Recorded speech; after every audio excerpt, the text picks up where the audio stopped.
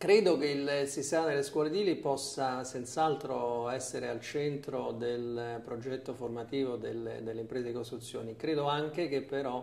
eh, sia necessario pensare a una uh, riforma importante, direi anche profonda, che eh, metta sostanzialmente al centro della formazione colui che deve essere formato. Eh, io questo credo che sia la, la, la richiesta, l'esigenza più forte che viene dal sistema delle imprese. Pensiamo per esempio alle, eh, alle maestranze. Eh, storicamente le maestranze si sono formate soprattutto attraverso l'insegnamento che i, i, vecchi assistenti di cantiere eh, facevano ai giovani che entravano in cantiere. Ora questo in parte eh, accadrà sempre perché è, poi la palestra importante della formazione è quella, ma certamente oggi noi abbiamo un sistema, per esempio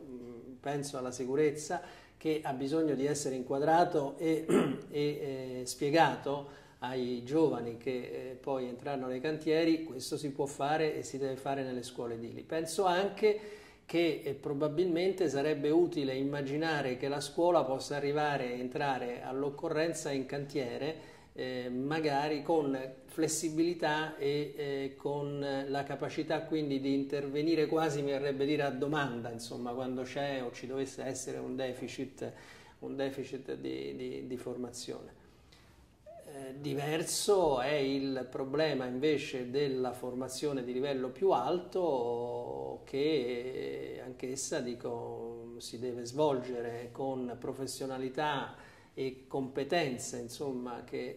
eh, devono essere all'altezza della situazione perché noi abbiamo bisogno di tecnici che poi sappiano condurre i cantieri ma c'è qualcuno che, eh, che, che bisogna che riesca a colmare il gap che esiste sempre fra una formazione di tipo scolastico e, e, e, e poi l'esperienza di cantiere.